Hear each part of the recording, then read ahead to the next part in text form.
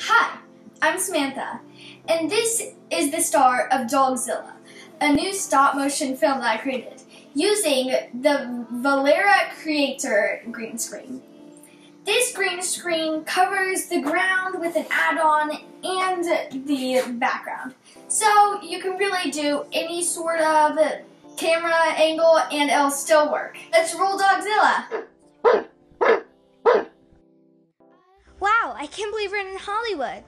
Yeah, I don't know how we got those tickets. I know. Oh my god.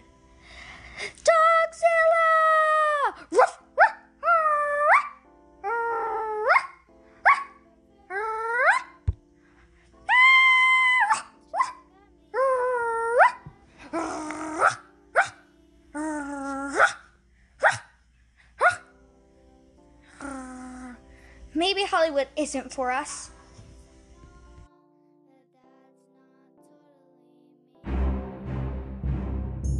Welcome back. I hope you enjoyed watching Dogzilla.